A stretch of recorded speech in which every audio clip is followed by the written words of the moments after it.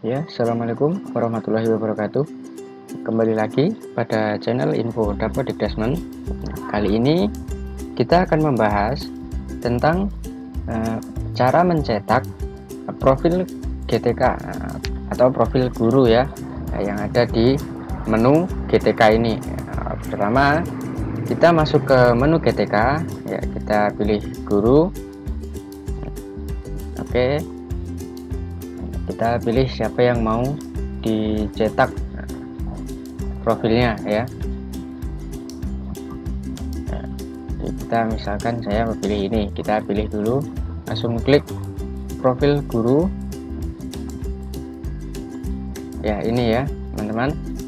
Nah, ada kelengkapan data-data si guru tersebut nah, PTK tersebut. Nah ini adalah apa namanya lampiran rekapitulasi pembelajaran. Nah, oke. Ini adalah jam-jam pembelajarannya atau JJM jumlah jam per minggu. Nah, seperti itu.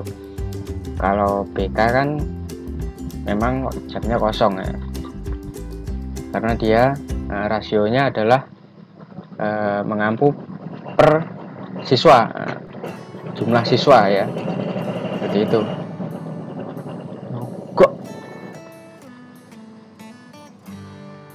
nih nah ini ada si tanda tangan GTK tersebut atau guru tersebut. Nah, oke okay.